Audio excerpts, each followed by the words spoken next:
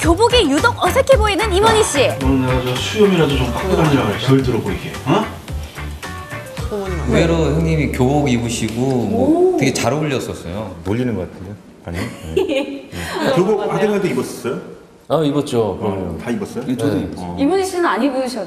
교복 마지막 세일에 교복 마지막 세일에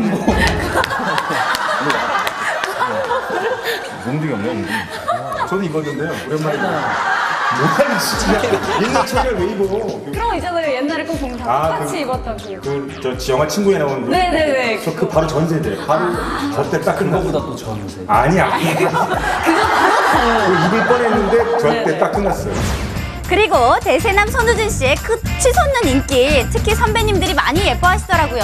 어쩜 그렇게 선배 독차지하시죠? 기본적인 것들 있잖아요. 사람을 꼭 선배님들뿐만 아니라 사람을 만났을 때 지켜야 되는 기본적인 매너들 그냥 그런 것들만 했는데 선배님들께서 많이 이뻐해 주시더라고요. 저는 안 이뻐요 저는 안 이뻐요 예외가 있었네요. 깜짝하는 거지 그러니까, 그러니까 선배님은 네. 뵙기가 힘들더라고요. 이렇게 하도 숙소에 안 들어오셔가지고 젊으셔서 워낙. 엄마가 어디 가시면 연 락오거든요. 몽둥이가 걸리는 탈출이가 워워 거기까지. 손호준 씨의 넓은 인맥에 이분이 빠지면 섭섭하죠. 절친 류현석 씨. 영화 찍으면서 뭐 응원 오거나 이러시지 않으셨어요? 부산국제영화제 네, 네. 저희가 그 시기랑 겹쳤었어요. 그래서 아, 맞아요. 그때 작년에. 내려와서 같이 술 한잔 하고 그랬었거든요. 이번에 유현석 씨 MBC 드라마 맨드롬 또또에서 또큰 활약을 하시고 계시잖아요. 아, 우정 출연 같은 거 하실 생각 없으세요?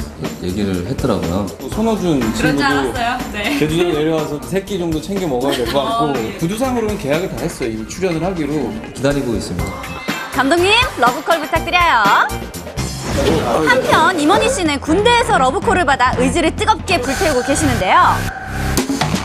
얼마 전에 슬리피 씨랑 인터뷰를 했는데 임원희 씨를 보면서 그렇게 힘을 내고 있다고 하더라고요. 저 형도 저렇게 하는데 뭐 그- 그런 식의 그런 힘뭐저 형도 버티는데 뭐 그런 거 같아요. 살아 계시는 거는 됐어 아우지 않고 그만 못하겠어요 해서 안 된다고 인정하는 것 같아요.